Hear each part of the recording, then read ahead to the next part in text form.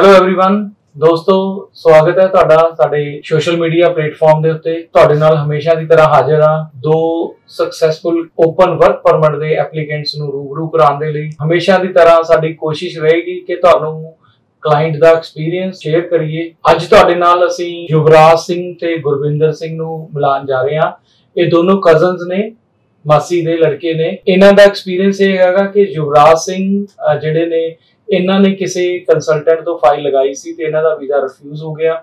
Second time ਅਸੀਂ ਇਹਨਾਂ ਦੀ file ਲਗਾਈ ਤੇ ਵੀਜ਼ਾ ਆ ਗਿਆ ਹੈਗਾ। ਤੇ ਗੁਰਵਿੰਦਰ ਨੇ ਫਸਟ ਟਾਈਮ ਹੀ ਸਾਡੇ ਤੋਂ ਫਾਈਲ ਲਗਾਈ ਸੀ ਤੇ ਵੀਜ਼ਾ ਜਿਹੜਾ ਇਹਨਾਂ ਦਾ ਅਪਰੂਵ ਹੋ ਗਿਆ। ਸੋ ਇਹਨਾਂ ਦਾ ਐਕਸਪੀਰੀਅੰਸ ਵੀ ਸ਼ੇਅਰ ਕਰਾਂਗੇ, ਕੀ ਗਲਤੀ ਹੋਈ ਉਹ ਚੀਜ਼ ਵੀ ਤੁਹਾਡੇ ਨਾਲ ਸ਼ੇਅਰ ਕਰਾਂਗੇ।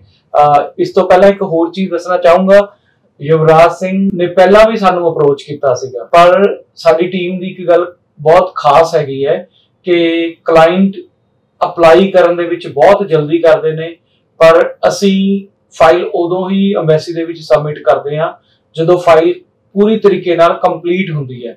ਤੇ ਅਕਸਰ ਹੀ ਜਦੋਂ ਸਾਨੂੰ ਐਪਲੀਕੈਂਟ ਜਾਂ ਕੋਈ ਕੰਟੈਕਟ ਕਰਦੇ ਨੇ, ਤੇ ਅਸੀਂ ਉਹਨਾਂ ਨੂੰ ਦੱਸਦੇ ਹਾਂ ਕਿ ਤੁਹਾਡੀ ਫਾਈਲ ਦੇ ਵਿੱਚ ਕਮੀ ਹੈਗੀ ਹੈ, ਕਿ ਤੁਹਾਨੂੰ 3 ਮਹੀਨੇ 4 ਮਹੀਨੇ ਅਸੀਂ ਵੇਟ ਕਰਵਾਵਾਂਗੇ।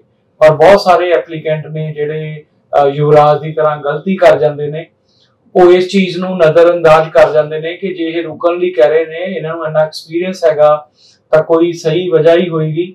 ਪਰ ਇਹਨਾਂ ਨੇ ਵੀ ਇਸ ਤਰ੍ਹਾਂ ਹੀ ਕੀਤਾ, ਕਿਸੇ ਹੋਰ ਨੇ ਇਹਨਾਂ ਨੂੰ ਕਿਹਾ ਕਿ ਅਸੀਂ ਤੁਹਾਡੀ ਫਾਈਲ ਲਗਾ ਦਿੰਨੇ ਆ ਤੁਹਾਡਾ ਵੀਜ਼ਾ ਆ ਜਾਏਗਾ।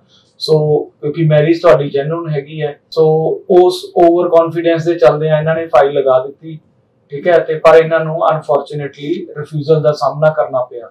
ਰੀਜ਼ਨ ਇਹੀ ਹੁੰਦਾ ਹੈ ਮੈਰਿਜ ਚਾਹੇ ਤੁਹਾਡੀ ਜੈਨੂਨ ਹੈਗੀ ਹੈ ਪਰ ਕਿਉਂਕਿ ਤੁਸੀਂ ਓਪਨ ਵਰਕ ਪਰਮਿਟ ਜਿਹੜਾ ਹੈਗਾ ਇੱਕ ਟੈਂਪਰੇਰੀ ਰੈਜ਼ੀਡੈਂਸ ਵੀਜ਼ਾ ਹੈਗਾ ਇਹਦੇ ਵਿੱਚ ਹੋਰ ਵੀ ਚੀਜ਼ਾਂ ਦਾ ਜਿਹੜਾ ਹੈਗਾ ਧਿਆਨ ਰੱਖਣਾ ਹੁੰਦਾ ਹੈ।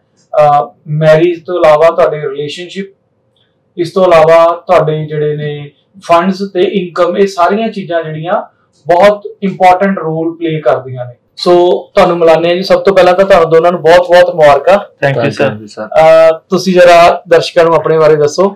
ਜੀ ਮੇਰਾ ਨਾਮ ਯੁਵਰਾਜ ਸਿੰਘ ਮੈਂ ਅਸੰਧ ਕਰਨਾਲ ਤੋਂ ਹਰਿਆਣੇ ਚੋਂ। ਮੇਰਾ ਨਾਮ ਗੁਰਵਿੰਦਰ ਸਿੰਘ ਮੈਂ ਸਮਾਣੇ ਤੋਂ ਮੇਰੀ ਵਾਈਫ ਮੌਂਟਰੀਅਲ ਚ ਰਹਿੰਦੇ ਨੇ। ਓਕੇ ਹਾਂਜੀ। ਯੁਵਰਾਜ ਤੁਸੀਂ ਖਾਸ ਕਰਕੇ ਦੱਸੋ ਹਾਂਜੀ। ਅਹ ਜੋ ਮੈਂ ਗੱਲ ਕਹੀ ਹੈ ਕਿ ਕਿੱਦਾਂ ਰਿਹਾ ਸੀ ਤੁਹਾਡਾ ਫਸਟ ਟਾਈਮ ਕਿਹੜੀ ਗੱਲ ਤੇ ਅਸੀਂ ਤੁਹਾਨੂੰ ਮਨਾ ਕੀਤਾ ਸੀ ਤੇ ਤੁਹਾਡਾ ਵੀਜ਼ਾ ਰਿਫਿਊਜ਼ ਕਿਸੇ ਹੋਰ ਕੰਸਲਟੈਂਟ ਤੋਂ ਹੋਇਆ ਉਹਦਾ ਕੀ ਰੀਜ਼ਨ ਰਿਹਾ? ਸਰ ਜਨੇ ਅਸੀਂ ਤੁਸੀਂ ਕਿਹਾ ਸੀ ਇੱਕ ਤਾਂ ਫੰਡ ਸਟਰੋਂਗ ਕਰੋ ਆਪਣੇ। ਠੀਕ ਹੈ। ਦੂਜਾ ਰੀਜਨ ਸੀ ਵੀ ਆਪਣਾ ਉਦੋਂ ਮੈਂ ਕਾਲੀ ਕਰ ਬਿਠਾ ਚੁੱਕੀ। ਮੈਂ ਠੀਕ ਹੈ। ਕਿਸੇ ਰਿਸ਼ਤੇਦਾਰ ਤੋਂ ਕਿਹਾ ਮੈਨੂੰ ਆਪਾਂ ਚੱਲਨੇ ਆਂ ਉਹਦੇ ਕੋਲ ਜਾ ਗੱਲ ਕਰਨੇ ਆ। ਠੀਕ ਹੈ। ਉਹਨੇ ਕਿਹਾ ਵੀ ਤੇਰਾ ਵੀਜ਼ਾ 2 ਮਹੀਨੇ ਚ ਆ ਜਾਏਗਾ। ਵੀ ਡਰਨ ਦੀ। ਲੋੜ ਨਹੀਂ ਤੈਨੂੰ। ਠੀਕ ਹੈ। ਤੇ ਮੈਂ ਚਲੋ ਮੈਂ ਗਿਆ ਉਹਦੇ ਕੋਲ ਉਹਨੇ ਮੇਰੇ ਤੋਂ ਕੋਈ ਡਾਕੂਮੈਂਟ ਨਹੀਂ ਮੰਗੇ। ਜੋ ਮੈਂ ਦਿੱਤਾ ਉਹਨੇ ਲਏ ਮੇਰੇ ਤੋਂ ਤੇ ਉਹਨੇ ਆਪਣੀ ਫਾਈਲ ਮੰਨ ਲਓ ਕਿ ਸਬਮਿਟ ਕਰ ਦਿੱਤੀ। ਠੀਕ ਹੈ। ਤੇ ਫਿਰ ਕੋਵਿਡ ਆ ਗਿਆ। ਉਹਦੇ ਕਰਕੇ ਮੇਰਾ ਸਾਲ ਇੱਕ ਵੇਸਟ ਹੋ ਗਿਆ। ਠੀਕ ਹੈ। ਫਿਰ ਮੈਂ ਤੁਹਾਡੇ ਕੋਲ ਆਇਆ ਤੇ ਮੇਰਾ 3 ਮਹੀਨਿਆਂ ਦੀ ਵੀਜ਼ਾ ਆ ਗਿਆ ਸਰ। ਕਦੋਂ ਲੱਗੀ ਸੀ ਤੁਹਾਡੀ ਫਾਈਲ ਸਾਡੇ ਕੋਲ ਦੁਬਾਰਾ? ਮੇਰੀ ਲੱਗੀ ਸਰ। 5ਵੇਂ ਮਹੀਨੇ ਦੀ 17 ਤਰੀਕ ਨੂੰ ਸਰ ਓਕੇ ਮਤਲਬ ਮਈ ਦੇ ਵਿੱਚ ਮਈ ਦੇ ਲੱਗੀ ਵਿੱਚ ਸੀ ਤੇ ਲੱਗੀ। ਵੀਜ਼ਾ ਕਦੋਂ ਆਇਆ ਤੁਹਾਡਾ? ਅਗਸਤ ਦੀ 12 ਨੂੰ ਸਰ ਅਗਸਤ ਦੇ ਵਿੱਚ ਆਇਆ। ਹਾਂਜੀ, ਹਾਂਜੀ। ਠੀਕ ਹੈ। ਸੋ ਪਹਿਲਾਂ ਜਦੋਂ ਤੁਸੀਂ ਫਾਈਲ ਲਗਾਈ ਸੀ ਉਹ ਕਦੋਂ ਲਗਾਈ ਸੀ? ਉਹ ਮੈਂ ਸਰ ਲਵਾਈ ਸੀ ਨਵੰਬਰ 2020 ਚ। 2020 ਦੇ ਵਿੱਚ। ਹਾਂਜੀ। ਸੋ ਹੁਣ ਤੁਸੀਂ- ਰਿਫਿਊਜ਼ਲ ਆਈ ਸੀ ਮੇਰੀ 21 ਮਤਲਬ 22 ਚ। ਠੀਕ ਹੈ। ਪਹਿਲੇ ਮਹੀਨੇ ਜੂਨ ਸੋ ਆਲਮੋਸਟ 2 ਸਾਲ ਦਾ ਤੁਹਾਨੂੰ ਹਾਂਜੀ। ਸਫਰ ਕਰਨਾ ਪਿਆ। ਕਰਨਾ ਪਿਆ ਸਰ ਹਨਾ? 3 ਸਾਲ ਹੋ ਗਏ ਸਰਵਾਈਵ ਤੋਂ ਦੂਰ। ਓਕੇ ਵਾਈਫ ਤੋਂ ਦੂਰ 3 ਸਾਲ ਹੋ ਗਏ। ਸਾਲ। ਠੀਕ ਹੈ। ਯੁਵਰਾਜ ਮੈਂ ਚਾਹੂੰਗਾ ਤੁਸੀਂ ਕਿਉਂਕਿ ਤੁਹਾਡੇ ਵਰਗੇ ਹੋਰ ਵੀ ਐਪਲੀਕੈਂਟ ਨੇ ਜਿਹੜੇ ਇਹ ਦੇਖ ਦੇਣਗੇ ਹਾਂਜੀ। ਆਪਣਾ ਇਹ ਵੀਡੀਓ ਠੀਕ ਹੈ? ਜਿੱਦਾਂ ਅਸੀਂ ਤੁਹਾਨੂੰ ਰੁਕਣ ਲਈ ਕਿਹਾ ਪਰ ਕਿਸੇ ਹੋਰ ਨੇ ਤੁਹਾਨੂੰ ਕਹਤਾ ਇਸ ਬਾਰੇ ਤੁਸੀਂ ਕੀ ਕਹਿਣਾ ਚਾਹੋਗੇ? ਸਰ ਬਸ ਇਹ ਕਹਿਣਾ ਚਾਹਾਂਗਾ ਵੀ ਆਪਣਾ ਸੋਚ ਕੇ ਸਮਝ ਕੇ ਲਾਈਫ ਬਹੁਤ ਡਿਫਿਕਲਟ ਹੈ ਸਰ ਨਿੱਕੇ ਨਿੱਕੇ ਫੈਸਲੇ ਆਪਾਂ ਨੂੰ ਸੋਚ ਸਮਝ ਕੇ ਲੈਣੇ ਚਾਹੀਦੇ ਨੇ। ਜਿਵੇਂ ਮੈਂ ਤੁਹਾਡੇ ਕੋਲ ਆਇਆ ਉਦੋਂ ਮੈਨੂੰ ਪਹਿਲੀ ਵਾਰ ਬਹੁਤ ਵਧੀਆ ਲੱਗਾ ਤੁਹਾਡੇ ਨਾਲ ਮਿਲ ਕੇ। ਐਕਸਪੀਰੀਅੰਸ ਬਹੁਤ ਵਧੀਆ ਸੀ ਮੇਰਾ ਇਹਨਾਂ ਨਾਲ। ਬਟ ਜਿਵੇਂ ਤੁਸੀਂ ਕਿਹਾ ਤੁਸੀਂ ਟਾਈਮਿੰਗ ਕਿਹਾ ਵੀ ਤੈਨੂੰ 2 ਮਹੀਨੇ ਮਹੀਨੇ ਰੁਕਣਾ ਪਏਗਾ ਤੈਨੂੰ ਫੰਡ ਸਟਰੋਂਗ ਕਰਨੇ ਪੈਣਗੇ। ਫਿਰ ਮੈਂ ਚਲੋ ਬੰਦੇ ਹੁੰਦੇ ਨਹੀਂ ਮੰਨਦੇ। ਫਿਰ ਮੈਂ। ਦੂਜੇ ਏਜੰਟ ਕੋਲ ਗਿਆ ਉਹਨੇ ਕਿਹਾ ਕੋਈ ਗੱਲ ਨਹੀਂ ਤੇਰੇ 1 ਮਹੀਨੇ ਚ ਫਾਈਲ ਆਣਾ ਉਹਨੇ 1 ਮੰਥ ਦੇ ਵਿੱਚ ਮੇਰੀ ਫਾਈਲ ਕੰਪਲੀਟ ਕਰਕੇ ਮੈਸੇਜ ਸਬਮਿਟ ਕਰ ਦਿੱਤੀ। ਬਿਲਕੁਲ। ਮੈਂ ਕਹਿਣਾ ਚਾਹੁੰਦਾ ਵੀ ਤੁਸੀਂ ਕਾਹਲੀ ਨਾ ਕਰੋ ਆਪਣਾ ਪੜਿਆ ਵਿਚਾਰੋ ਜਿੱਥੇ ਤੁਹਾਡਾ ਦਿਲ ਕਰਦਾ ਹੈ। ਮੇਰਾ ਬੜਾ ਵਧੀਆ ਐਕਸਪੀਰੀਅੰਸ ਬਹੁਤ ਵਧੀਆ ਐਕਸਪੀਰੀਅੰਸ ਰਿਹਾ ਤੁਹਾ- ਤੁਹਾਡੇ ਦਾ ਚਲੋ ਥੈਂਕ ਯੂ ਯੁਵਰਾਜ ਨੇ ਇਹ ਗੱਲ ਐਡਮਿਟ ਵੀ ਕੀਤੀ ਹੈ ਤੁਹਾਡੇ ਮੂਰੇ ਠੀਕ ਹੈ? ਇਹ ਚੀਜ਼ ਅਸੀਂ ਬਹੁਤ ਸਾਰੇ ਚੀਜ਼ ਐਕਸਪੀਰੀਅੰਸ ਕਰਦੇ ਹਾਂ ਕਿ ਕਲਾਇੰਟ ਨੂੰ ਜਿਹੜੀ ਹੈ ਅਪਲਾਈ ਕਰਨ ਦੀ ਬਹੁਤ ਜਲਦੀ ਹੁੰਦੀ ਹੈ।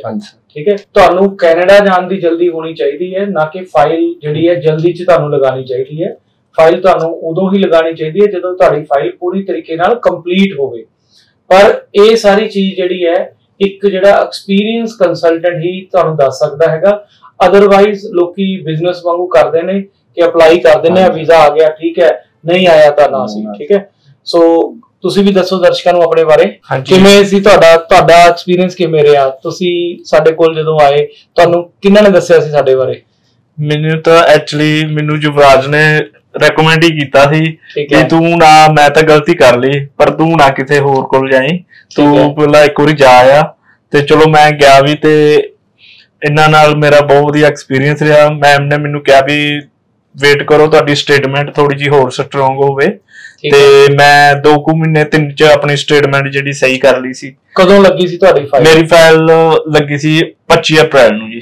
25 ਅਪ੍ਰੈਲ। ਨੂੰ। ਹਾਂਜੀ। ਠੀਕ ਹੈ। ਤੇ। ਰਿਜ਼ਲਟ ਕਦੋਂ ਆਇਆ? ਮੇਰਾ ਰਿਜ਼ਲਟ ਆਇਆ ਜੀ 16 ਅਗਸਤ। ਸੋ ਕਹਿਣ ਦਾ ਮਤਲਬ ਇਹਨਾਂ ਦੀਆਂ ਗਲਤੀਆਂ ਤੋਂ ਤੁਸੀਂ ਸਿੱਖ ਲਿਆ। ਬਿਲਕੁਲ ਜੀ। ਠੀਕ ਹੈ। ਤੇ ਇਹ ਮੈਨੂੰ ਵਾਰ-ਵਾਰ ਕਹਿੰਦਾ ਸੀ ਵੀ ਤੂੰ ਹੋਰ ਕਿਤੇ ਨਾ ਜਾਈਂ ਮੈਂ ਤਾਂ ਗਲਤੀ ਕਰ ਲਿਆ। ਤੇ ਇੱਕ ਵਾਰੀ ਸਰ ਨੂੰ ਜ਼ਰੂਰ ਮਿਲ ਕੇ ਆਓ।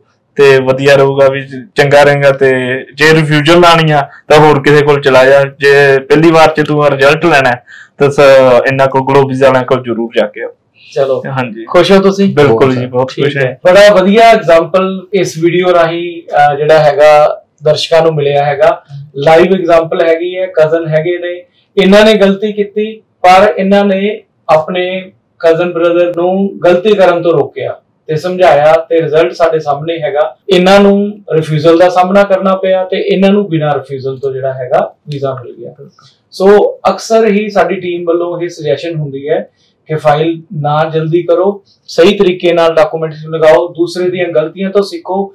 ਇਹੀ ਪਰਪਸ ਹੁੰਦਾ ਹੈ ਕਿ ਅਸੀਂ ਇਹ ਚੀਜ਼ਾਂ ਤੁਹਾਡੇ ਨਾਲ ਸ਼ੇਅਰ ਕਰਦੇ ਰਹਿੰਦੇ ਹਾਂ। ਅਕਸਰ ਹੀ ਅਸੀਂ ਜਦੋਂ ਰਿਫਿਊਜ਼ਲ ਵਾਲੇ ਕੇਸਿਸ ਨੂੰ ਡਿਟੇਲ ਦੇ ਵਿੱਚ ਵੀਡੀਓ ਬਣਾ ਕੇ ਸ਼ੇਅਰ ਕਰਦੇ ਹਾਂ ਪਰਪਸ ਸਿਰਫ ਹੁੰਦਾ ਕਿ ਅਵੇਅਰਨੈਸ ਕਰਨਾ। ਇੱਕ ਹੋਰ ਮੈਸੇਜ ਹੈਗਾ, ਖਾਸ ਕਰਕੇ ਉਹਨਾਂ ਐਪਲੀਕੈਂਟ ਦੇ ਲਈ, ਜੋ ਚਲੋ ਜਾਣੇ ਅਣਜਾਣੇ ਇਹ ਗਲਤੀ ਕਰ ਚੁੱਕੇ ਨੇ, ਤੇ ਉਹਨਾਂ ਦਾ ਵੀਜ਼ਾ ਕਿਸੇ ਤਰੀਕੇ ਨਾਲ ਜਿਹੜਾ ਹੈਗਾ ਰਿਫਿਊਜ਼ ਹੋ ਚੁੱਕਿਆ ਹੈ।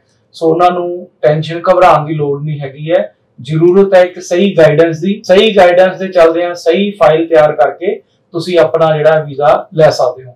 ਸੋ ਇੱਕ ਪੋਜ਼ਿਟਿਵ ਹੋਪ ਹੈਗੀ ਹੈ। ਯੁਵਰਾਜ ਦੀ ਐਗਜ਼ਾਮਪਲ ਤੁਹਾਡੇ ਸਾਹਮਣੇ ਹੈਗੀ ਹੈ। ਕਿ ਇਹਨਾਂ ਦਾ ਵੀਜ਼ਾ ਰਿਫਿਊਜ਼ ਹੋ ਗਿਆ ਸੀ, ਪਰ ਅੱਜ ਇਹਨਾਂ ਦਾ ਦੇਖੋ ਵੀਜ਼ਾ ਆ ਚੁੱਕਿਆ ਹੈਗਾ। ਪਰ ਵੀਜ਼ਾ ਆਇਆ ਉਦੋਂ ਹੀ ਜਦੋਂ ਇਹਨਾਂ ਨੇ ਸਹੀ ਤਰੀਕੇ ਨਾਲ ਫਾਈਲ ਤਿਆਰ ਕੀਤੀ। ਦੂਸਰੀ ਐਗਜ਼ਾਮਪਲ ਤੁਹਾਡੇ ਕੋਲ ਗੁਰਵਿੰਦਰ ਦੀ ਹੈਗੀ ਹੈ। ਠੀਕ ਹੈ? ਇਹਨਾਂ ਨੇ ਜਲਦਬਾਜ਼ੀ ਨਹੀਂ ਕੀਤੀ।